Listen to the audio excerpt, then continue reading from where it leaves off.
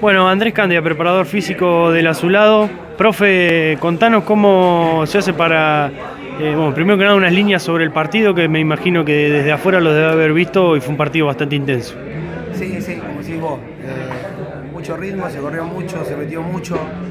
Después con las expulsiones aparecieron más los espacios, fue un partido de ida y. Eh, realmente nosotros siempre, viste, eh, proponemos jugar a la pelota, por abajo, lo que pregona Alejo.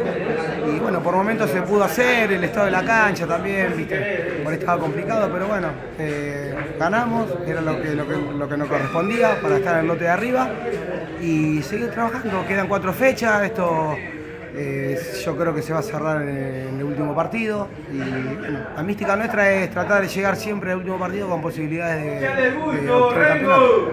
Desde lo físico, ¿cómo lo viste a los chicos de, de Criba hoy en el, en el partido? Porque la cancha estaba pesada y bueno, quizás eh, eso acarrea alguna carga para comenzar los entrenamientos en la semana.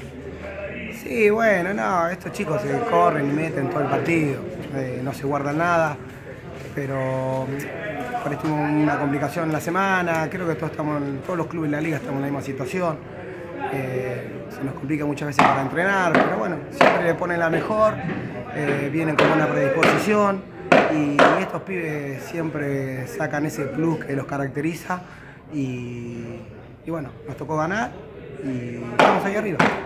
¿Cómo se hace para trabajar eh, también pensando en lo físico, para la recta final de- del torneo? Por ahí, eh, desde lo físico se siente los jugadores la, la carga de toda, de toda la apertura. Y también pensando en el futuro clausura, que no se sabe si va a haber receso o no. eh, ¿Es bueno, es malo no, no tener tiempo para, para prepararlo de otra manera?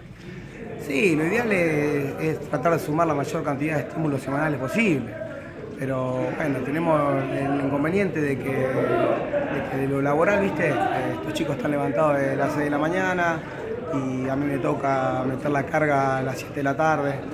Eh, así que bueno, siempre hablando con Alejo, planificando, eh, viendo cómo están ellos, se conversa mucho. Entonces, de acuerdo a cómo están ellos, viste, Eh, es el estímulo y la carga que realizamos nosotros, viste. Ahora en la semana, mañana descansan y bueno, y el miércoles ya empezar a, a mover de nuevo eh, la máquina para, para llegar de la mejor manera al fin de semana. Esperemos que, bueno, eh, termina todo entero, así que eso es bueno. La última, ¿cómo ves eh, este, este- la- estas últimas fechas de, de la apertura? Eh, ahí hoy Criba, en- entre ellos, están perfilados para pelear el, el título. ¿Cómo, ¿Cómo lo ves en general el resto de los equipos junto a Criba también? Nada, están bien. Eh, los, cuatro, los cuatro equipos que, que estamos peleando en el lote de arriba están todos bien, estamos todos parejos. Yo considero que, bueno, eh, Everton, Adil, experiencia nosotros.